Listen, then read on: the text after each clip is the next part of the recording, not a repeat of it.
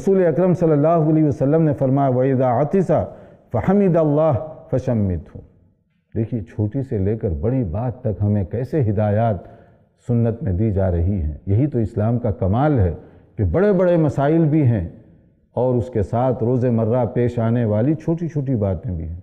आपने फरमाया, जब कोई मुसलमान छींके और अल्हम्दुलिल्लाह कहे तो आप भी उसके लिए दुआ कीजिए यरहमुकल्ला कह के कि अल्लाह तुम्हारे ऊपर रहम फरमाए। और जो सीखने वाला है, ये जवाब सुनकर फिर वो उसको दुआ करे। वो उसके हक़ में दुआ करे। यहदीकुमुल्लाह वयुस्लिह बालकुम। कि अल्लाह ताला तुम्हारी रहनुमाई फरमाए, तुम्हारे हालात को दुरुस्त कर दे।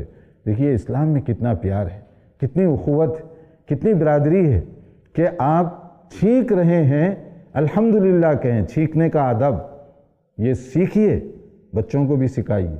क्योंकि देखा गया बड़े बड़े लोग छींकते हैं, कभी कोई कहता है एक्सक्यूज़ मी और कभी कोई सारी कभी कोई ऐसे कुछ कहता ही नहीं है। ये क्या है? इस्लामी आदाब से नावाकिफियत की दलील।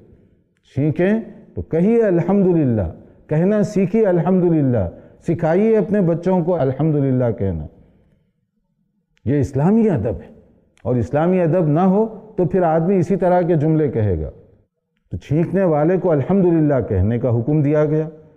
और जब अल्हम्दुलिल्लाह सुने तो सुनने वाले उसके हक़ में दुआ करें कि अल्लाह तुम्हारे ऊपर रहम फरमाए।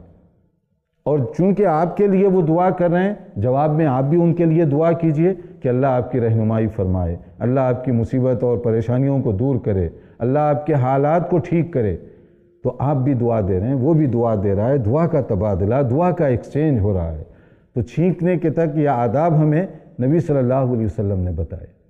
ऐसे ही और वीडियोस बनाने में हमारी मदद करें।